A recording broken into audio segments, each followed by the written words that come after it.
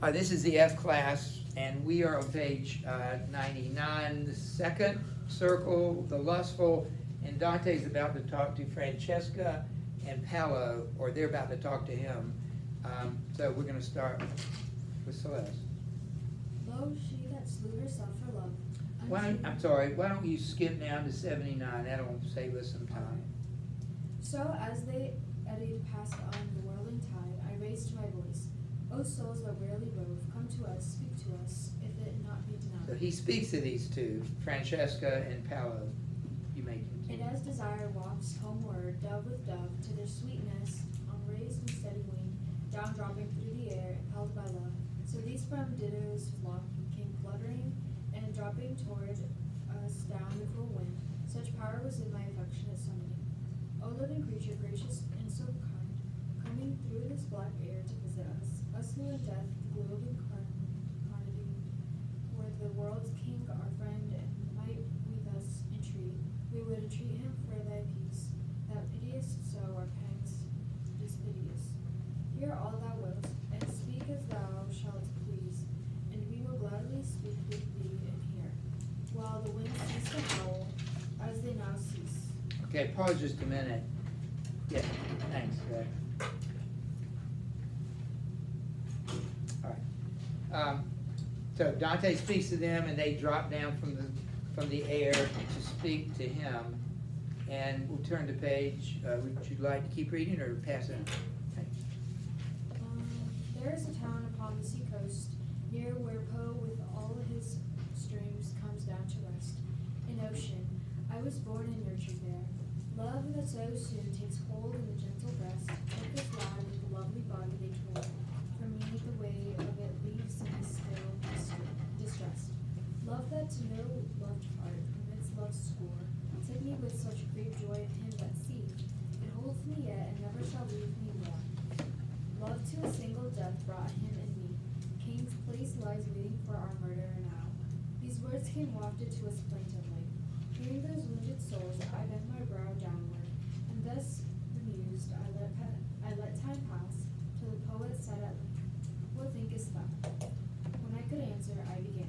Alas, sweet thoughts how many, and desire how great, brought down these twain unto the dolor- dolorous path. So he's asking them, how did you get here? What caused, what happened that, that brought you here? Um, Keep reading or pass it on? And then I turn to them, that dreadful fate, Francesca makes me weep, it so inspires pity, said I, grief compassionate. Tell me, in that time of sighing sweet desires, how and by what did love his power disclose, and grant you knowledge of your hidden fires? Then she said she to me, the bitterest woe of woes is to remember old happy times, and this thy doctor knows. Yet if so dear desire thy heart possess, to know that root of love which wrought us all, I'll be as those who weep and who confess. One day we read for pastime how enthrall Lord Lancelot lay to love who loved the queen. We were alone, but no harm at all. As we read on, our eyes met now and then, and to our cheeks the changing color started. Just one moment overcame us, when we read of this smile, desired of lips long thwarted, such smile by a long, by such a lover kissed away. He that may never more from me be parted, trembling all over, kissed my mouth. I say the book was Gallia, Gallia the compliant, Ribald who wrote, we read no more that day. While the one spirit thus spoke, the others crying wailed on me with a sound so lamentable, I swooned for pity like I would, like as I were dying, and as a man falling, down I fell. All right, so we have, um, we have answered through twenty-one, Which one do twenty-two? we'll do twenty-two, so page one hundred, look on the left-hand side of the, page one hundred. Look at line 100, 103, and one oh six. Love, love, love. All right, that would be, that would be what we call anaphora. It's exactly repetition, exact repetition of a single word at the beginning of a phrase. You know, it's,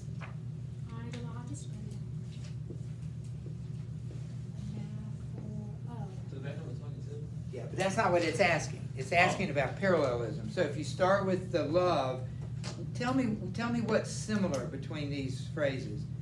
Um, Love that so soon takes hold in the gentle breast, took this lad with the lovely body and tore from me the way it leaves me still distressed. And then, love that to no loved heart remits love's score, Oh, took me with same such grace. place. So it's written in the same way, that's parallelism. It's, it's not just repetition of words, that's, that's a different word for that. It's the fact that they're all written in the same grammatical form, and you can hear it. All right? So what is the story? That's twenty, um, two. Analyzing Francesca's speech, does she seem sorry for her sins? I'd say, yeah, so at the end, she says, I swim for pity, like, as I were dying. Okay, that was um, Dante, don't get that? Yeah. Oh. Listen to this. She says in line one, one oh one, she says, took this lad with the lovely body, they tore from me, the way of it leaves me in distress. And it says, took me with such great joy of him that see, it holds me yet and never shall leave me. So she's still, Still holding on to that. yes. And earlier it said something, she's not sorry. She's still with him and she's pretty happy and they're in hell. But she's still She, holding so she on. doesn't. No, she, and nobody does, not in Dante, and I believe in reality, nobody in hell is, they sorry they got caught, they don't wanna be hurting, but they're not bending the knee before Christ, and, but it's too late anyway. Well, let's, let me finish, um, then it says, um, that's, where are we? Uh, does she seem to s- explain, alright, so we're not, we're not in, we're not at twenty-four yet. Do you know her story? How did they fall in love? Um, they were young. They were young.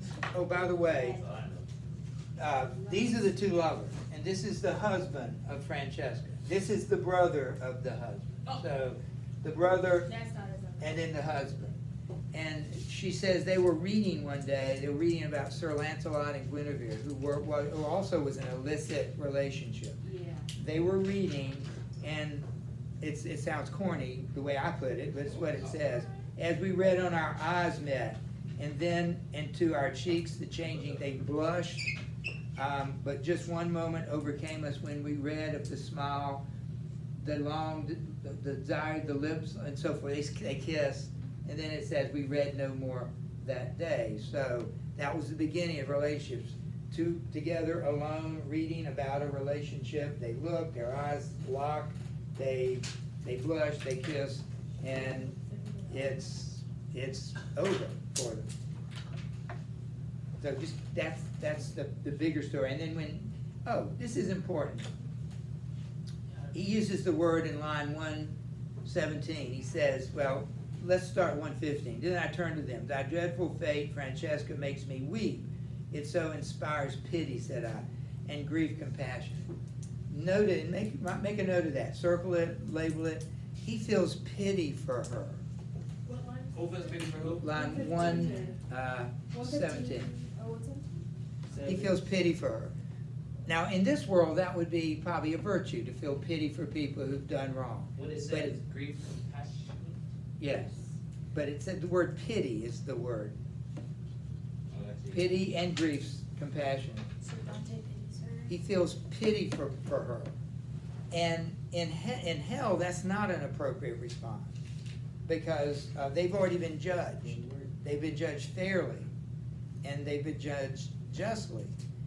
And um, it really it really shows a weakness on Dante. Dante's actually going to change, but we he's going to learn that you shouldn't pity people in hell because all those sins in hell actually represent your own sins. So when you look at your own sins, you shouldn't coddle them. You shouldn't pity them. You shouldn't feel sorry for them. You should, well, we'll find out later what you should do. Remember, what did Jesus say you do with your own speck in your eye? What did he say you do? Or the log in there? What did he say if your right hand caused you to sin, what should you do? Cut it out. That's how Jesus said we should treat our sin. Not, ah, so sorry for the sin. I feel, you know, I feel, you know, compassionate for the sin. No, you cut the sin off. So even though the sins are other people's sins, they all represent his own sins. And so you should look at your own sin that's wrong, I need to stop doing it. And you- you know, how, how do you treat your own sin? Like you cut the hand off. You wouldn't really do it, we'd all be maimed. If we all cut our hand off when we sin, nobody would have hands, because we're all sinners. If all plucked our eyes out when we sin, we'd all be blind. In fact, it wouldn't change that you're a sinner either. You'd still sin with no arms and no eyes, you'd still sin. But, so that, what you're really cutting off is the sin. Um, All right, so, let's skip the page, and were you asking to read? I wanted to read the text, not the story. Okay, well, I need somebody to read I the was- story. Would you read the story? This is, look at the top of the page. This is circle three, the gluttonous, meaning what? Eat too much. Now, we don't think sin, uh, eating is a sin. It's, it- Wait. it's really not. What circle were we just in? We were in, uh, two, now we're in three. Canto four, circle three. Yeah. Ah, okay, that's what I was getting at. Right. Okay. So we don't consider eat, overeating a sin, but what causes people to overeat is a sin. What causes people, The story. There you go. Now finds himself- lack of self-control. Would that look poorly with the lust, because that's also like lack of. Absolutely. So let's notice the geography of this section, what they're, what we know who the sinners are, because we've already read that. Um, But how are they being punished? That's interesting. The punishment always fits the sin. I wonder if they're gonna give them excess of what they wanted on Earth. Like- Well, we're, we're about to see. So you're gonna, Neil, you're gonna read the story. Dante now finds himself in the third circle, where the gluttonous lie wallowing in the Liar. mire, drenched the perpetual rain and mauled by three-headed dog Cerberus. Cerberus. After Virgil has quit, quieted Cerberus by throwing earth into his jaws, Dante talks, take, yeah, talks to the shade of Ciacco. Ciacco, a Florentine who prophesies some of the disasters which are about to befall Florence, and tells him where he will find certain other of their fellow citizens. Virgil tells Dante what the condition of the spirits will be after the last judgment. Okay. When consciousness returned, which had shut closed, the doors of sense leaving, leaving me stupid, stupid, Stupefied. sorry, stupefied, for pity and no sad kinsfolk and their woes, new sufferings and new sufferers far and wide, where I move or turn myself or stray, my curious eyes are seen on every side. So who woke up? Dante. Dante's always the one speaking unless they're quotation marks and somebody else is sleeping speaking. the train, like he always ends up passing out. or, like, Yeah, this is the second time he's passed out and woke up. Um, I am now in the third circle, that of rain, one ceaseless heavy cold, a cursed quench, whose law and nature very never appear, very never rain. Huge hailstones, sleet and snow, and turbid drench of water sluice down through the darkened air, and the so, and soak, and the soaked earth gives off a putrid stench. Cerberus, the cruel misshapen monster, there bathes in the triple gullet and dog-like growls over the wa- Hmm? wallowing shades, his eyeballs glare. A bloodshot crimson and his bearded jowls are greasy and black. Pot-bellied, talon-heeled, he clutches and flays and trips and rends the soul. They howl in the rain like hounds, they try to shield one friend with the other, with many a twist and swerve. The impious Impious. sorry, impious wenches bred bred in the filthy field. When Cerberus spied on, spied us coming, the great worm, he gaped his mouth with all their fangs aglow, bristling and quivering till no limb stood firm. Okay. Um, So Cerberus is punishing for. That's, that's one of the two kinds of punishment. Cerberus is eating them, chew, not, not eating them and eliminating them, but just, Chewing on it. Chewing on it. So he's the three-headed dog. yeah. That must be so mean. Okay, so what is the, uh, what is the rationale behind that? Why does the punishment fit the sin? Yeah. Because on, when they were alive, the gluttonous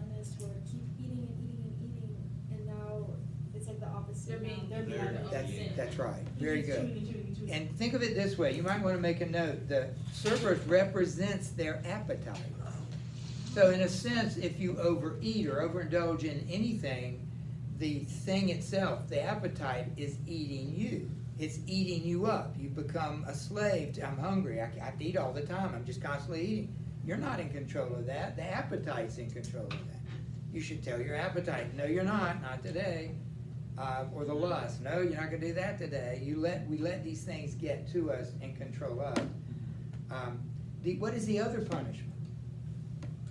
The rain. The rain and the cold and the hailstones and the sleet and the snow. Why is that symbol? How is that symbol? Because when they were able to overeat, and the problem meant that they had good living conditions. If they're put in bad living Yeah. conditions, it just amplifies. That's very good. And, and think about food. Food is always Good. accompanies celebration, parties. Every time that you have a party, people, somebody brings food. So on in hell, it's just the opposite. It's not happy. It's not. It's um, and you're even alone. You know, you're you're alone in your mud and muck and mire, and it's it's filthy and dirty. Eating too much is the same thing. At least that's the point they're trying to make. Uh, Lena, would you like to read? Okay, we'll get back to the. Okay, so top of uh, At once, Twenty-two. at once. I just did two. Oh, It's on the top. oh, you know, the- line twenty-two. I thought it was on the page. It's on the top of one oh five. Got it. Okay. When, At- No, you're right. no, you do it, Let's- I'll mention it. My guide, spreading both hands wide out, scooped up whole fistfuls of the miry ground and shot them swiftly into each craving throat. All right, that's how he got around the dog. He threw dirt into its mouth. And as a ravenous barking hound falls dumb the moment he gets his teeth on food, and worries and bolts with never a thought beyond, so did those beastly muzzles of the rude fiend Cerberus, who so yells on the souls they're all half deafened, or they would be if they could. Then o'er the shades whom the rain's heavy fall beats down, we forward went, and our feet trod their nothingness, which seems corporeal. These all lay groveling flat upon the sod. Only as we went by, a single shade sat suddenly up, seeing us pass that road. O thou that through this hell of ours art led, look thou know, know me, since thou wast for sure, said he, or I ever was unmade maid. Then I to him, perchance thy torment sore, I changed thee out of knowledge. There's no trusting sight, if I ever set, set eyes on these before. But say, who art thou, brought by what ill lusting to such a pass of punishment as meseems? Worse there may be, but nothing so disgusting. Thy native city, city, where envy teems and swells, so that already brims the sack. Called me her own in the life where the light beams. Um, Wait, sorry. His name? Ciacco. Ciacco. You What? citizen stick made me laugh. Damnable gluttony was my soul's disease. See how I waste for it now in the rain's wrack. And I, poor sinner, and not alone, all these lie bound in like penalty with me. For life an offense, and there, and there he loves peace. And I at once began, thy misery moves me to tears, Ciacco, and weighs me down. But tell me if thou canst, what end may be in store for these people, for the people of our distracted town? Is there one just man left? And from what source to such foul head have these distempers grown? Okay, so, um, I don't know if it asked you this, we'll look and see, uh, starting with twenty-four, why is wasting and rotting an appropriate punishment for the gluttons in circle three again? Because they had good living conditions before, so. They've had, it's like, they've had their fill in food, and now it's almost like they're rotting, just like all the food. Very good, I like that answer as well. Because they're rotting on the food, basically. That's what I said, Oh, That's, now I was that's like asking. what he, what she just said, yeah. So like, this is the, the food eventually rots and it's not good for you. All right, so twenty-five. Uh, what im- initial impressions do we have of Dante's home city of Florence based on the dialogue with Ciacco? All right, so first of all, Ciacco. He is a resident of Ciacco, right there. He is, he is a, remember, everywhere he goes, or most of the places Dante goes in hell, he, he talks to people. They talk back to him. So he talks to this guy named Ciacco. Ciacco actually means pig in Italian. So they can see why that's appropriate. He was known for his gluttony.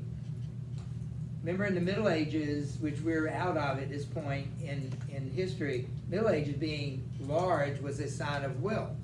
Um, But now, we're- they're becoming to see that it's also kind of, it could be, it could be a bad, Oh, like bad someone's thing. like, if they were large, They're wealthy. The poor people were like. trying to- because they don't have enough food to eat. Like the Canterbury Tales. Yeah, The from- the- From the Canterbury Tales, which, uh, you know, kind of represents Jack the. was a resident of Florence? Yeah, and somehow he knows Dante is from Florence, so he's gonna ask Dante, no, Dante asked him, can you tell me what's in store for the people of our distracted towns? Um, uh, If, I need you to understand this, I think I mentioned before, people in hell, wherever they are, have the ability to see the future. But as the future becomes the present, they forget. So it, like, they could have predicted that it's gonna be, you know, whatever, that something's gonna happen, and, but when that thing gets here, they have no idea. I have a question. They don't know, yeah. So I thought about this last night before I went to bed. So I know we talked about those who try to predict the future in hell because they're wanting, so. do- Because they're what? Cause however you explained it, like those who try to predict the weather are always trying to. Not, s- not the weather, Not just, weather, I mean assume the future. So do people who do weather like that, do they up? about sports analysts. I believe the Redskins are gonna win, oh, there are no more Redskins. I believe the Commanders are gonna win. it's, a- it's like analyzing We're like not actual facts, saying- and whether people Right. are looking at It's, it's a prediction. It's a prediction based on statistics, like the weather people. So it's not, you're not actually saying, it. I've seen, seen the future and this is what it is. Uh, it's just simply a It's prediction. not Um, else to do with The fact is- question of his home city? Hang on, the fact is, people, even today, the people that, ah, you're gonna meet a wealthy man next week, and you're gonna go, you know, palm reading, and that kind of thing, I'm gazing into my crystal ball, all that's sorcery, and it's prohibited, because the fact, we don't know. Remember, Jesus even said, when are you coming back? It's not for me to know. Now, he said that out of his humanness, because he's fully human, but in his divineness, he does know, he's just, it was the role he was playing here. So Um, what was the initial impression on the city? well, we don't know yet, Oh, we hadn't read it yet. Um, wa- any, who else was, wants to read here? Anybody else? If- Otherwise, you can do it. oh. Oh, Friday God night, said- I go to school and I'm divided off on Friday prayer today, so people please join us.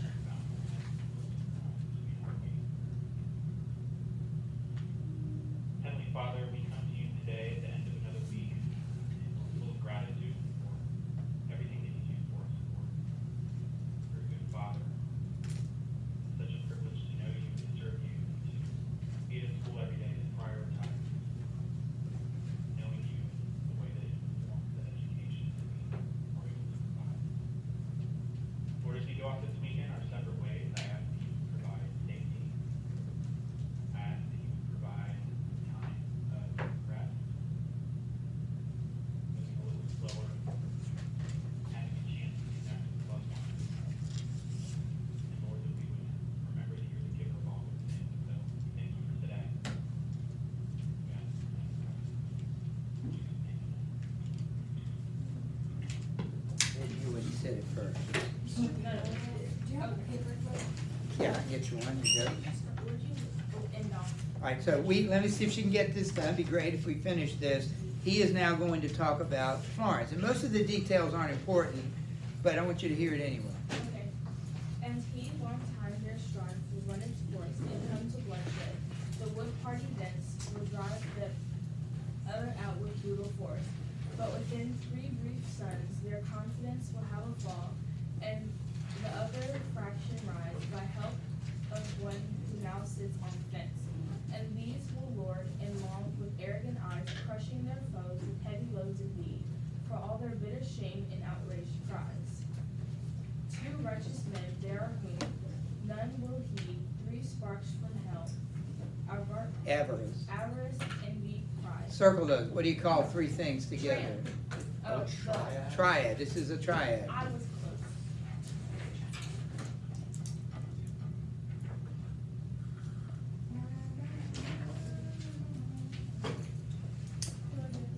Okay, Everybody get that? Yeah. Uh-huh. All right, go ahead, you go And all ahead. the men's bosoms, all the men's bosoms sowed the fear seed, fearing seed. Fiery. Fiery. Fire, seed. I'm sorry, fiery seed. His body speechless ended, so I cried. Speak on, I beg more, much, much more reveal. I don't know how to say that. Yeah, don't worry about it. Okay. Just Farinata, underline, circle Farinata. Women, Farinata, how is high. Those worthy men and Rest, Rusticucci. Rusticucci's zeal, Arrigo, Mosca, and the rest as well, whose minds were still set on everything. Where are they? Can I find them? Prithee, prithee, prithee tell, I am consumed with my desire to know, feasting in heaven or pois- poison here in hell. He answered, with the blacker spirits below, dragged to the depth by other crimes, Abhorred. abhorred. There shalt thou see them, if so deep thou go. But when to the sweet world thou art restored, recall my name to memory. I'll tell no more, no single word. Therewith he squir- he squinted, his straight gaze awry. I, I me a while, sorry, I me a while then, dropped down his head, rolled over amid in sightless company. Then spoke my guide. He'll rouse no more, he said, till the last loud angelic trumpet, trumpet sound, trumpet sounding. For when the enemy powers shall come arrayed, each soul shall seek its own grave mourning, mournful mounding, put on once more its earthly flesh and feature, and hear the doom eternally resounding. Thus with slow steps I and my gentle teacher over the filthy sludge of souls and snow, passed on touching a little upon the nature of the life to come, Master, as I said. This woe will it grow less, or still more fiercely burning, with the great sentence or remain just so?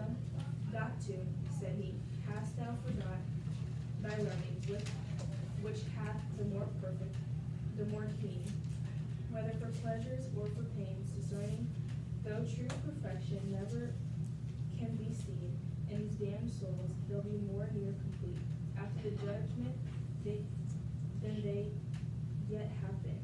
So, with more talk which I need not repeat, we follow the road that rings the circle around, till on the next ascent we set our feet. There Pluto, the great enemy, is found. Okay, let's answer these Oh, questions. Ah, big, big day. Second round of the draft for the NFL, so be watching the Packers pick a wide receiver, but also the Calvary game today at home is gonna be camo night, so everybody come out to that. I the and soccer. and Soccer. All right, look at number twenty-six. What predictions does Ciacco have about Florence? How is he able to determine these? That was twenty-six. Uh, twenty-five, what initial impressions do we have of Dante's home city based on dialogue? Twenty-five, I'll give you the answer. It's corrupt and there's strife, like turmoil, turmoil, political turmoil, moral corruption. Because you have avarice, envy, and pride involved. Okay, what initial impressions do you have? That was it. Twenty-six, what predictions about Florence? There's going to be political upheaval. And how does he know this? I just explained that, because in hell, they have this ability to see the future, but they don't see the present. Uh, and number twenty-seven, the triad would be avarice, envy, and pride. And then, uh, the last two, what is Ciacco's last request?